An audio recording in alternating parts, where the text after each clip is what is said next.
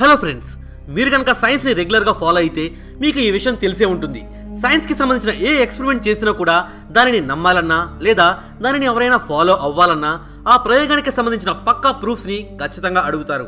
Scientist చేసే ప్రయోగాల వెనకాల చాలా కష్టం శ్రమ ఉంటాయి. ఎన్నో సంవత్సరాల కృషి ఉంటుంది. అలానే ఇప్పటివరకు మన ప్రపంచంలో కొంతమంది సైంటిస్ట్ కొన్ని విచిత్రమైన ప్రయోగాలు చేశారు. ఈ ప్రయోగాలు మానవ సభ్యతను ప్రశ్నిస్తున్నట్లు అందులో కొన్ని అయితే చాలా క్రూరంగా కూడా ఉంటాయి. అయితే కొంతమంది సైంటిస్ట్ ఈ రకమైన ప్రయోగాలు చేయడం జరిగినా గవర్నమెంట్ వెంటనే తెలుసుకుని వాటిని ఆపివేయడం కూడా జరిగింది. అయితే ఇలాంటి కొన్ని ప్రయోగాల వల్ల మానవాళికి కొంతవరకు లాభం జరిగినప్పటికీ ఇవి చాలా క్రూరంగా బాధాకరంగా ఉంటాయి. ఈరోజు మనం ఈ వీడియోలో అలాంటి కొన్ని ప్రయోగాలు వాటి వెనుకున్న సైంటిస్టుల గురించి కొంచెం వివరంగా తెలుసుకుందాం. మరి ఎప్పటిలాగిన టాపిక్ స్టార్ట్ చేసే ముందు మీ అందరికీ ఒక చిన్న రిక్వెస్ట్. ఈ కింద కనపడుతున్న రెడ్ కలర్ సబ్స్క్రైబ్ బటన్ పైన క్లిక్ చేసి మా ఛానల్ను సబ్స్క్రైబ్ చేయండి. మీరు సబ్స్క్రైబ్ చేయగానే పక్కన ఉన్న గంట సింబల్ను తప్పకుండా యాక్టివేట్ చేసుకోండి. దీంతో మా వీడియోస్ అన్ని మిస్ అవ్వకుండా మీరే ఫస్ట్ చూడవచ్చు. ఇక టాపిక్లోకి వస్తే ఫ్రెండ్స్ చనిపోయిన వారిని బ్రతికించడానికి కూడా ప్రయోగాలు చేశారనే విషయం మీకు తెలుసా? అమెరికాకు చెందిన డాక్టర్ రాబర్ట్ ఈ ప్రయోగానికి శ్రీకారం చుట్టారు. ఈయన ఉద్దేశం ప్రకారం చనిపోయిన మనిషిలో మళ్ళీ బ్లడ్ని ఫ్లో అయ్యేటట్టు చేస్తే ఆ మనిషి బ్రతుకుతాడట. మనిషి చనిపోయిన తర్వాత లోపల బ్లడ్ ఫ్లో ఆగిపోతుందన్న విషయం మనందరికీ తెలిసిందే. ఈ ప్రయోగం కోసం ఆయన కొంతమంది చనిపోయిన మనుషులకు అడ్రనాలిన్ అనే ఒక ఇంజెక్షన్ చేశాడు. ఈ ఇంజెక్షన్ బ్లడ్ని పల్చగా చేసి మళ్ళీ ఈజీగా ఫ్లో అవడానికి తోడ్పడుతుంది. ఇలా ఇంజెక్షన్ చేసిన తర్వాత వారిని సీసా లాంటి బెడ్ మీద పడుకోబెట్టి బ్లడ్ ఫ్లో ఫాస్ట్గా అవడానికి పైకి కిందకి ఊపడం జరిగింది. కానీ ఒక్క మనిషి కూడా మళ్ళీ బ్రతకలేదు. ఆ తర్వాత మళ్ళీ అదే ప్రయోగం చేయడానికి ఈసారి మనుషులకు బదులు ఐదు చనిపోయిన కుక్కలను తీసుకుని సేమ్ ఎక్స్పెరిమెంట్ చేయగా అందులో రెండు కుక్కలు మళ్ళీ బ్రతకడం గమనార్హం. ఇది ఒక సక్సెస్ లా భావించిన రాబర్ట్ తన ప్రయోగాలను ఇంకా కంటిన్యూ చేయాలనుకున్న అమెరికా గవర్నమెంట్ మాత్రం దానికి పర్మిషన్ ఇవ్వలేదు. ఎందుకంటే చనిపోయిన మనిషి మీద ప్రయోగాలు చాలా అనెతికల్గా భావించారు. ఇదే విధంగా పంతొమ్మిది వందల నలభైలో ఇంకొక సంఘటన రష్యాలో జరిగింది. ఇక్కడ సైంటిస్టులు చనిపోయిన కుక్క యొక్క తలను వేరు చేసి మళ్ళీ తలను బ్రతికించడానికి చూశారు. ఆ కుక్క తలలోకి ఆటోజెక్టర్ అనే మెషిన్ ద్వారా శుద్ధమైన బ్లడ్ని సరఫరా చేశారు. బ్లడ్ ఫ్లో స్టార్ట్ అయిన కొద్ది నిమిషాల తర్వాత ఏదైనా శబ్దం చేస్తే చెవులను కదపటం లైట్ వేస్తే రెప్పలు మూయటం లాంటివి చేసింది. దీనినే సైన్స్లో రెస్పాన్స్ టు స్టిములై అని కూడా అంటారు. ఈ విషయానికి సంబంధించిన రియల్ వీడియో ఫుటేజ్ మీకు యూట్యూబ్లో సెర్చ్ చేస్తే దొరుకుతుంది. ఇలాంటి ప్రయోగాలను కూడా గవర్నమెంట్ బ్యాన్ చేయడం జరిగింది. ఎందుకంటే దీనిని యానిమల్ అబ్యూస్ అంటే జంతువులను హింసించడం అని గవర్నమెంట్ వీటిని కంప్లీట్గా బ్యాన్ చేసింది. పంతొమ్మిది వందల అరవై మూడులో స్టాన్లీ మిల్గ్రమ్ అనే సైంటిస్ట్ అసలు ఒక మనిషి తన పై అధికారి యొక్క మాట ఎందుకు వింటాడు అనే దానిపైన ఒక సైకలాజికల్ ఎక్స్పెరిమెంట్ చేశాడు. అసలు హిట్లర్ ఆదేశాల మేరకు తన ఆర్మీ శత్రువులను కొన్ని సంవత్సరాల పాటు చాలా నిర్దయగా ఎలా హింసించేవారో తెలుసుకోవాలనుకున్నాడు.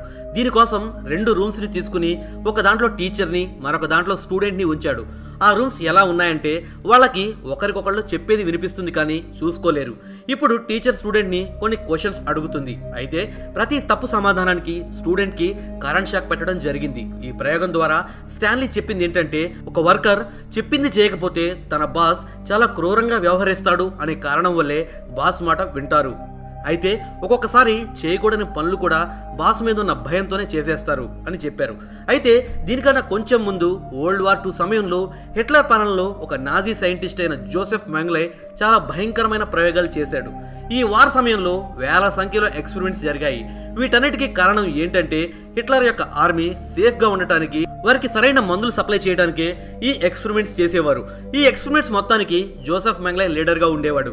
ఎప్పుడైనా ఆర్మీ ఎవరినైనా బందీలుగా తన దగ్గరికి తీసుకుని వస్తే జోసెఫ్ వాళ్ళందరిపై చాలా రోజుల పాటు ఎక్స్పెరిమెంట్స్ చేసేవాడు. అందులో ఎవరైనా ట్విన్స్ ఉంటే అంతే సంగతి. అతనికి ట్విన్స్ మీద చాలా ఇంట్రెస్ట్ ఉండేది. ఎవరైనా ట్విన్స్ ఉంటే వాళ్ళిద్దరి చర్మాలను కట్ చేసి మళ్ళీ ఒకటిగా చేసి కుట్టేవాడట. అంతేకాకుండా వారి బ్లడ్ వెజల్స్ అలానే ఆర్గాన్స్ని కూడా కలిపేసేవాడు. ఇలా చేయటం వల్ల వాళ్ళు సియామ్సీ ట్విన్స్ అవుతారని అతడి నమ్మకం. సియామసీ ట్విన్స్ అంటే జనరల్గా ఇద్దరి శరీరాలు అతుక్కుని పుడతారు. అంతేకాకుండా మనుషులను ఎయిర్ ప్రెషర్ ఛాంబర్స్లో బంధించడం ఐస్ ఛాంబర్స్లో ఉంచి చంపేయటం లింగ మార్పిడి క్యాస్ట్రేషన్ లాంటి భయంకరమైన ఎక్స్పెరిమెంట్స్ తలపెట్టాడు. అయితే ఇతను చేసిన ప్రయోగాలన్నీ ఇప్పుడు చేస్తే అది గవర్నమెంట్ దృష్టిలో చాలా పెద్ద నేరం అవుతుంది. అంతేకాకుండా వాళ్ళు శిక్షార్హులు అవుతారు.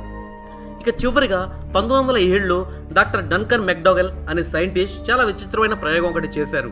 ఆయన సోల్ అంటే మనిషి ఆత్మ యొక్క బరువును క్యాల్కులేట్ చేయాలనుకున్నాడు. ఈయన ఈ ఎక్స్పెరిమెంట్ చేయడానికి కొన్ని రోజుల్లో చనిపోయే ఒక ఆరుగురు పేషెంట్స్ని తీసుకున్నాడు. ఈ ఆరుగురు పేషెంట్స్ని చనిపోయే ముందు వాళ్ళ వెయిట్ క్యాలిక్యులేట్ చేశారు. అలా చేయడం ద్వారా వాళ్ళు చనిపోయిన తర్వాత మళ్ళీ వెయిట్ని చూసి ఆ వెయిట్ని చనిపోక ముందు ఉన్న వెయిట్తో కంపేర్ చేసి చూద్దామనేది ఆయన ప్లాన్ అన్నమాట. ఇలా వాళ్ళు చనిపోయిన తర్వాత ఒక్కొక్క మనిషి వెయిట్ని కంపేర్ చేసి చూశాడు. మొదటి పేషెంట్ వెయిట్ ఇరవై ఒక్క గ్రాములు తగ్గడం జరిగింది. రెండవ పేషెంట్ వెయిట్ కూడా అలానే తగ్గినా మళ్ళీ కొన్ని సెకండ్స్లో అదే వెయిట్కి వచ్చేసింది. తర్వాత ఇద్దరు పేషెంట్స్ వెయిట్ సేమ్ అలానే తగ్గినా మళ్ళీ కొన్ని మినిట్స్లో చనిపోక ముందున్న వెయిట్ కన్నా ఇంకా ఎక్కువ పెరిగింది.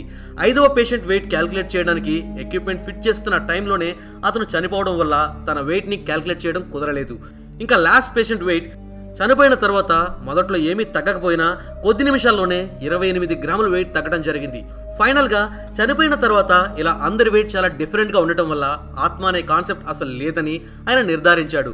ఒకవేళ ఉంటే కనుక అందరి వెయిట్ ఒకే రకంగా తగ్గుతుందని ఆయన చెప్పడం జరిగింది. అయితే దీనికి సైంటిఫిక్ ఎక్స్ప్లెనేషన్ ఏంటంటే చనిపోయిన తర్వాత బాడీలో బ్లడ్ క్లాట్ అవ్వటం బాడీలో కెమికల్ రియాక్షన్స్ జరిగి కొన్ని గ్యాసెస్ రిలీజ్ అవడంతో వెయిట్ అవకతవకలు వస్తాయని చెప్తున్నారు. ఇలాంటి ఎక్స్పెరిమెంట్స్ గురించి తెలుసుకున్న గవర్నమెంట్ ఇకపైన ఇంకా ఎవరు ఇలాంటివి చేయకూడదని బ్యాన్ విధించడం కూడా జరిగింది. ఫ్రెండ్స్ వీటికన్నా దారుణమైన ప్రయోగాలు చేసిన సైంటిస్టులు కూడా ఉన్నారు. కానీ ఆ ఎక్స్పెరిమెంట్స్ గురించి చెప్పడం కూడా బాగోదు. ఈ ప్రపంచంలో కొంతమంది సైంటిస్టులు చేసిన క్రూరమైన ప్రయోగాలు ఇవే. ఈ వీడియో మీకు నచ్చినట్లయితే లైక్ చేయండి వాట్సాప్లో ఫేస్బుక్లో ఈ ఇన్ఫర్మేషన్ని మీ ఫ్రెండ్స్ అందరికీ తప్పకుండా షేర్ చేయండి. మరిన్ని అద్భుతమైన వీడియోల కోసం వెంటనే మా ఛానల్ సబ్స్క్రైబ్ చేయండి. జై హింద్.